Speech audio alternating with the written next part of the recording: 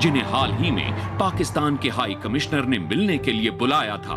भारत सरकार ने ऐसे नेताओं की मुलाकात पर एतराज़ जताते हुए पाकिस्तान से होने वाली बातचीत पर रोक लगा दी। यासीन मलिक एक जमाने में मिलिटेंट लीडर थे। यासीन मलिक जम्मू कश्मीर लिबरेशन फ्रंट के एरिया कमांडर थे। यासीन मलिक ने पाकिस्तान में बने ट्रेनिंग कैंप में हथियारों की ट्रेनिंग ली थी।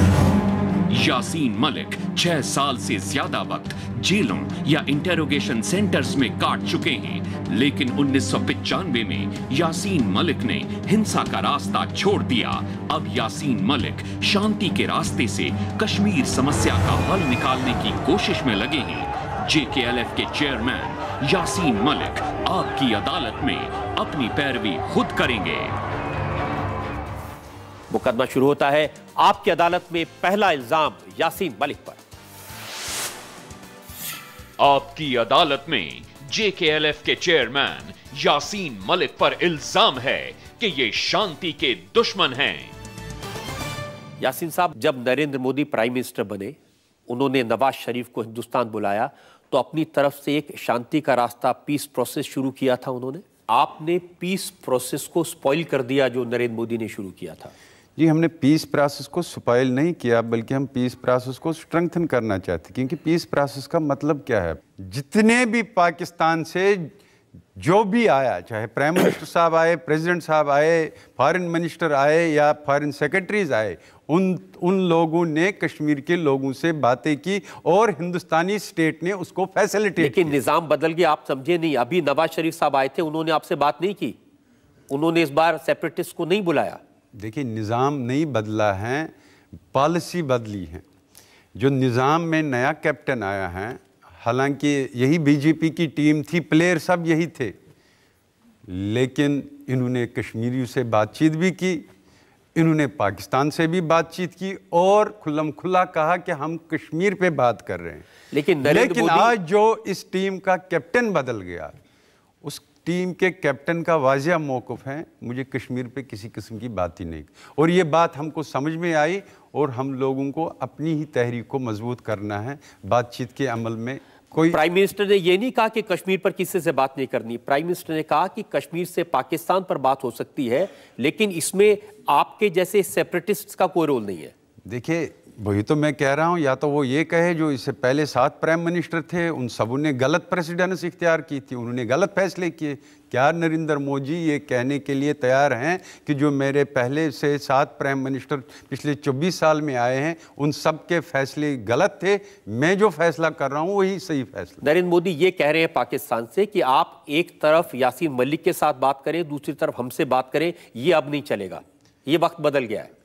ये उसके लिए वक्त बदला है क्योंकि ये उसका मौकफ है अपना ज़ाती मौकफ। वो इस मौकफ के साथ आगे बढ़ना चाहते हैं जो उन्होंने कश्मीरियों को मैसेज दी हैं आप कि... आपको ये ठीक लगेगा कि बलूचिस्तान में जो लोग सेपरेटिस्ट की बात करते हैं जो बलूचिस्तान में विद्रोह के लोग हैं उनसे हिंदुस्तान के हाई कमिश्नर पाकिस्तान में बैठ के बात करें? वो ठीक है? देखिए मैं आपको एक बात बताऊँगा हिंदुस्तान में इतनी सारी स्टेटें हैं। बहुत सी स्टेटों में तनाज़ात हैं लेकिन हमने कभी भी उनकी बात नहीं की है। इसी तरह पाकिस्तान में स्टेट है, कश्मीर जो है, कौन लेकर गया यूनाइटेड नेशन में कश्मीर को? ये तो हिंदुस्तान के प्राइम मिनिस्टर साहब थे जिनने चिट्ठी लिखी। इसको इंटरनेशनलाइज किसने किया? जो यूनाइटेड नेशन के दफ्तर, श्रीनगर और उस वाले कश्मीर में हैं वो किसने लाया? ये तो हिंदुस्तान ने लाया। हिंदुस्तान ने इसको इंटरनेशनल कम्युनिटी में ले गए पंडित जवाहरलाल नेहरू जी थे और वहाँ पर इस पर फिर रेजोल्यूशन पास साहब आप जवाहरलाल नेहरू प्राइम मिनिस्टर नहीं है अब नरेंद्र मोदी प्राइम मिनिस्टर है।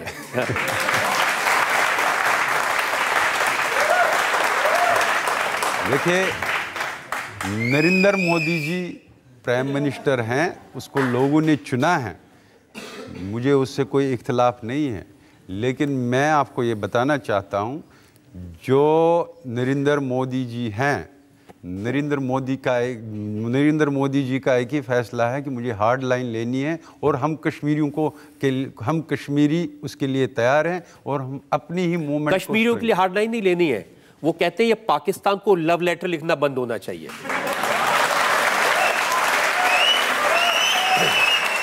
देखिए 2000 तीन में मैंने जॉइंट लव लेटर लिखा था पाकिस्तान के हेड ऑफ़ द स्टेट और अटल बिहारी वाजपेयी जी। और ये पहला जॉइंट लव लेटर था।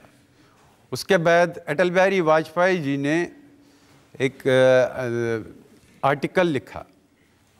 और उसने ये लिखा we should we should ignore beaten tracks and find out the new innovative ways to resolve the Kashmir issue उसने भी यही बात की कि मुझे मसले कश्मीर। आप कभी नेहरू जी की बात करते हैं कभी वाजपेयी जी की बात करते हैं आप ये क्यों भूल जाते हैं कि इस समय एक सख्त आदमी हिंदुस्तान का प्राइम मिनिस्टर मैं यही कह रहा हूँ मैं यही कह रहा हूँ कि आज यहाँ ना नेहरू है ना अटल बिहारी वाजपेयी। यहाँ आज नरेंद्र मोदी जी हैं। और नरेंद्र मोदी जी को लगता है कि मैं सख्त तरीन लाइन लेकर शायद कश्मीर की तहरीक को ख़त्म कर सकता हूँ। दुनिया की तवारी गवाह हैं।